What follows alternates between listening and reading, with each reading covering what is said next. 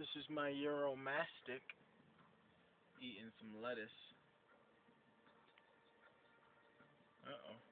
He's got all these damn crickets hiding right there. He loves crickets. Everybody says they're really strong vegetarians for their adult years, but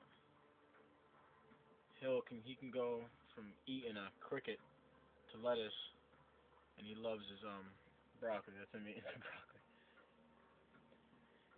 But I've gotten him to eat. I've actually gotten to eat regular worms, like earthworms. I've gotten him to eat mealworms, superworms. He's eating a lot of stuff. He might even get a cricket right now. Here we go. Ah, he's a little slow compared to my dragons when it comes to catching crickets. So I, I'm kind of hesitant to put a lot of crickets in there because they bother him at night. But he's a cool guy. He's one of my newest additions. I read up on him a little bit. He's not he's not an amazing one. He doesn't have a lot of color. He's he's in the shed right now. So, but he has a lot of yellow when he is out. But he's nice. I got him.